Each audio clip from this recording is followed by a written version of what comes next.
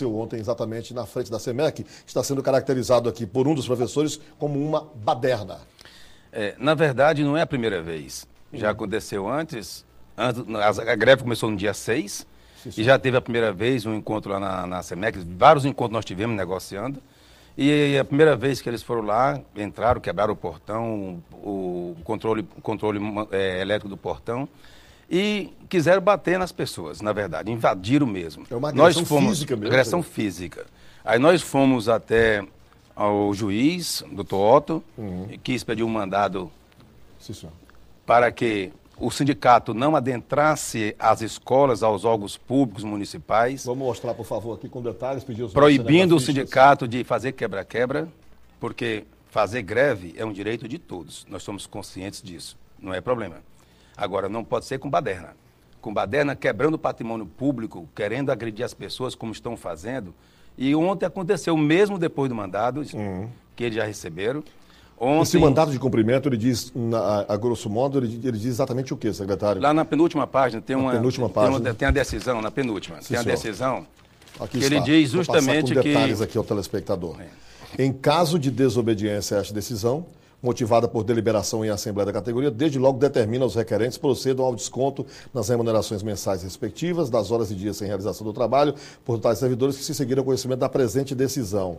Além disso, há alguma coisa relacionada. Leia o segundo item também. Logo embaixo? O segundo item em cima. O segundo em item em cima. O não cumprimento pelo requerido da providência exarada no item, de modo aqui estipulados, acarretará ao sindicato requerido a multa de 10 mil reais por dia, ficando desde logo autorizada a execução provisória da Astreinte em autos de apenso, inclusive com bloqueio de recursos financeiros e arresto de veículos automotores e outros bens. Certo. E no primeiro, ele diz Sim. justamente Faça a leitura do primeiro também. O primeiro item é. determina ao sindicato requerido, ao seu presidente ou quem por suas vezes fizer, se abstenha de praticar, atenção, se abstenha de praticar atos e manifestações tais como invadir e tumultuar estabelecimentos de ensino e os prédios onde funcionam a Secretaria Municipal de Educação de Teresina, bloquear acessos e saídas de órgãos e logradouros públicos e qualquer outro ato que ameace ou ofenda a integridade física ou patrimonial decisão assinada doutor. pelo doutor Otton Mário José Lustosa Torres, juiz Bem, de direito da primeira vara da Fazenda é, Pública. Mesmo depois dessa decisão,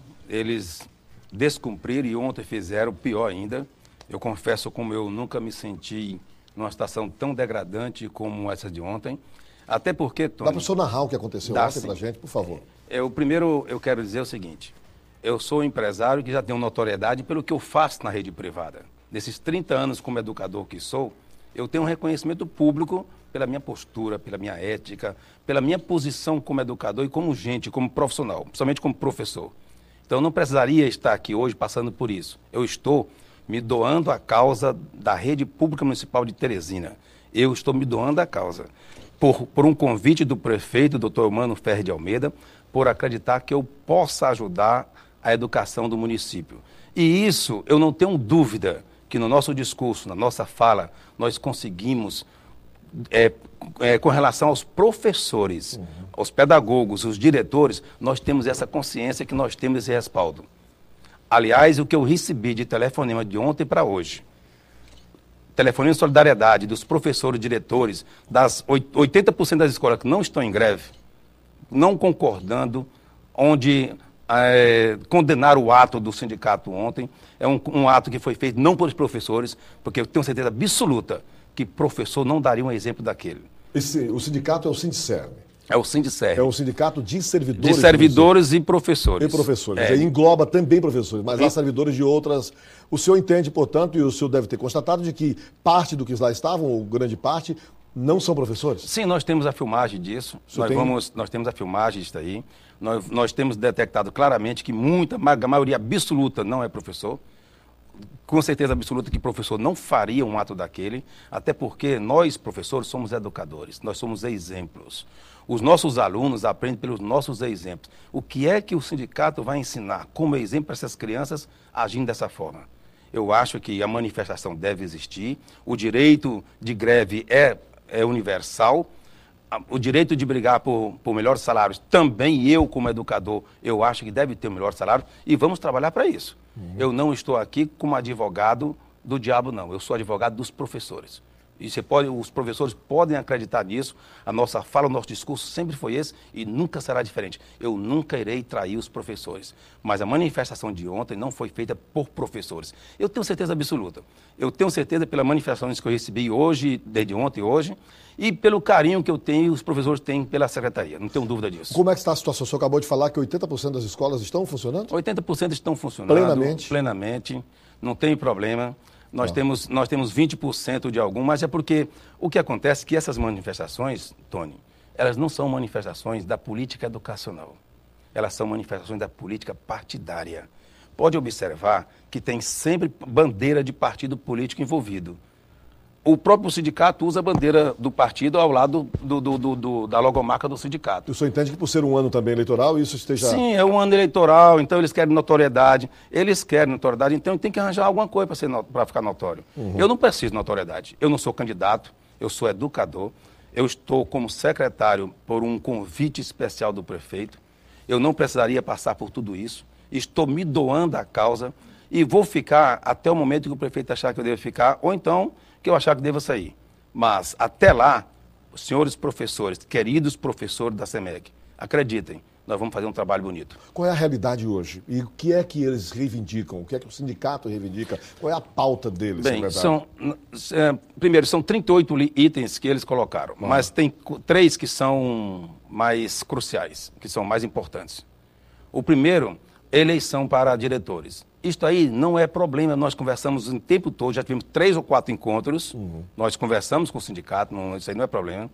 Nós tivemos três ou quatro encontros, e o primeiro deles, eleições. É ponto pacífico do prefeito Emmanuel Ferre de Almeida e do secretário Paulo Machado fazer as eleições para diretores.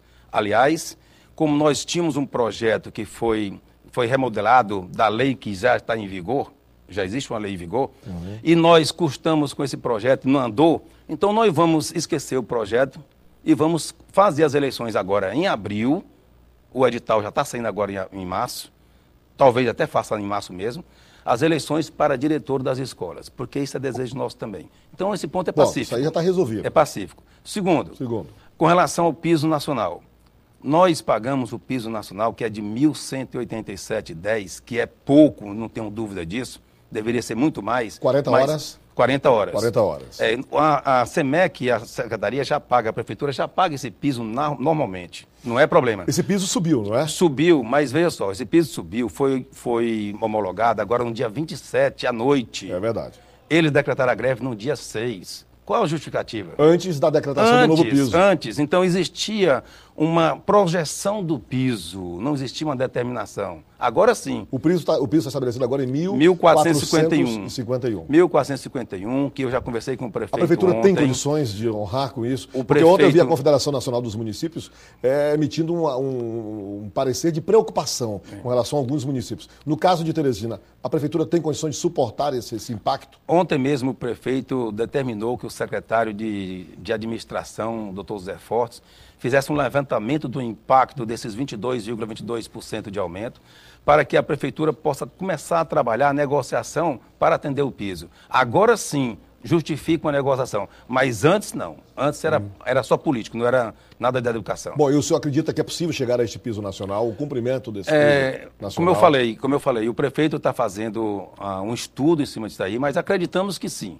que hum. é possível eu, nós vamos trabalhar para isso. O senhor falou de dois pontos. Qual é, o terceiro? O terceiro é com relação aos HPs, que é o horário pedagógico, que é, é a lei federal 11.738, que a lei federal, ela determina um piso ou alguma coisa para os servidores federais. Quando for a lei nacional, como o piso é nacional, aí sim, todo mundo tem que cumprir com isso. Mas, alguns estados entraram com a DIN, contra essa lei 11.738. E nessa, nessa, nessa DIN que foi implementada por alguns estados, ficou na votação 10, 10 ministros, porque o ministro que é autor da lei não pôde votar. Então ficaram 10. E o próprio tribunal não entrou em acordo, ficou um, uma votação 5 a 5, ou seja, não existe ainda uma decisão entre eles mesmos. Então, como é que nós vamos cumprir se não existe uma adesão, adesão ainda entre eles mesmos? Nós temos que aguardar os resultados para que a gente possa se manifestar. O senhor não tem se negado a conversar, né? Não, nunca. Todas as solicitações, Todas. audiências e contatos com os sindicatos, representantes da categoria, o senhor os recebe? Sim, sempre. Agora, nesse momento, não, porque o momento agora é de baderna, o momento agora é- não é pro- propício, porque não temos nem estômago, Tony, para receber do jeito que está.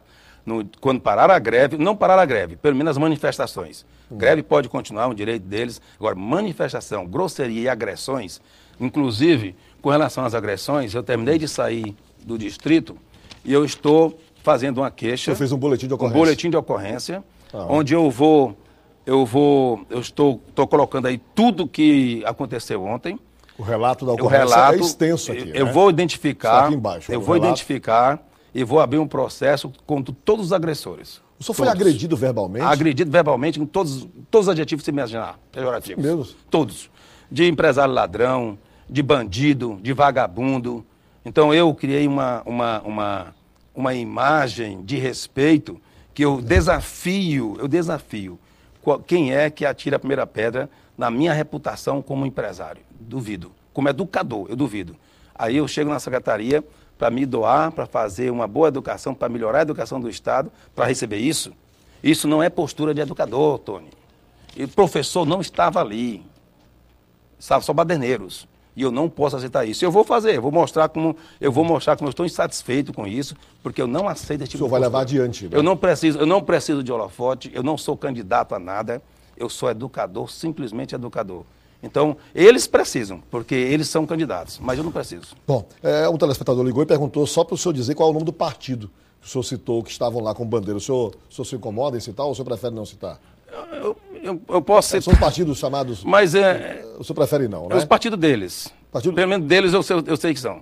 Tá mas, certo. mas pode ser que existam outros partidos, porque existe uma estrutura Mas atrás eles disso. estavam com bandeiras dos partidos? Bandeiras na, na própria camiseta. Na própria camiseta é, com, tem- com- tem- com o símbolo do partido, É. né? E o senhor tem filmado isso, né? Tem- Temos filmado. Ó, na verdade, eu não tenho nem dúvida que essa, essa manifestação, ela não é uma manifestação política educacional, é política partidária. Eles querem holofotes e nós, nós estamos aqui para negociar sempre com, com professores, com badaneiros, jamais. Inclusive, hoje estava marcado para ser uma, uma mesa redonda, mas terminou no que terminou, eu não recebo mais. Eu não recebo. Enquanto tiver assim, vamos fazer lá na justiça, no, no, no, no, não- como é que se diz, no, no- na procuradoria, sei onde for. Mas na SEMEC eu não recebo porque eles não sabem conversar. Eles não querem conversar, não querem diálogo. Eles querem apenas agredir as pessoas. Tá certo, secretário. Aqui estão várias manifestações, muitas favoráveis, outras não, outras são cobranças. Eu quero aproveitar a presença do senhor aqui, né, dentro desse ambiente, vamos dizer, eh, de equilíbrio aqui, a gente poder ouvir o senhor com relação a algumas questões pontuais. Eh, a, a professora Amanda diz assim, secretário, por que o não cumprimento da lei federal com relação à carga horária e salário? É justamente o que nós falamos. A lei 11.738 foi implementada no ADIM, como essa lei, e tá- foi empatada em 5 a 5. Não existe uma decisão ainda, entendeu? Então nós estamos aguardando para a posteriori a gente começar a trabalhar isso. É com relação aos HPs passar de um terço, que é 33%. Por que, que o senhor não autoriza a imprensa a fazer uma matéria e comprovar que não estamos tendo aula? Maria, da Santa Maria da Codipe. O secretário Bem, falou dos nós 20%. temos, né? é, nós temos muitas escolas que estão é, com aula normalmente, por exemplo, é, a Delmiro Coelho Machado, o diretor me ligou hoje, e me autorizou a dizer isso, como um ato de solidariedade ao que aconteceu ontem, que não aceita. Lá está tendo aula normalmente, e o diretor repudia, como todos os professores, educadores, repudiam o que aconteceu ontem. Os alunos são os mais prejudicados com um movimento como esse, fala uma telespectadora. Com certeza que os alunos ficam prejudicados porque nós temos que fazer a reposição dessas aulas para amenizar o prejuízo. Por que, que eh, vocês não, não mandam equipar todas as escolas? A creche Jesus Diocesano, secretário, eh, não começou as aulas das crianças porque não tem carteiras. A Marcela do PAC Piauí. Não, a creche de Jesus Diocesana, o que, que acontece é o seguinte, aqui o prédio não era nosso. E o Ministério Público não aceitou que continuássemos lá sem fazer reformas. Fazer reforma em prédio que não é da prefeitura, o próprio Ministério Público condena, não aceita. Entendeu? Então nós tivemos que eh, transferir as crianças para um prédio, nós fomos atrás de um prédio para que ninguém ficasse prejudicado, e vamos transferir as crianças para um pré- prédio próximo da, da, da creche existente. Então lá não é problema, nós vamos resolver o problema de lá. Tá certo. Eh, nós estamos, a Lúcia, satisfeitos com o trabalho que está acontecendo nas escolas. A nossa escola está muito bem. Ela só não falou o nome da escola, mas está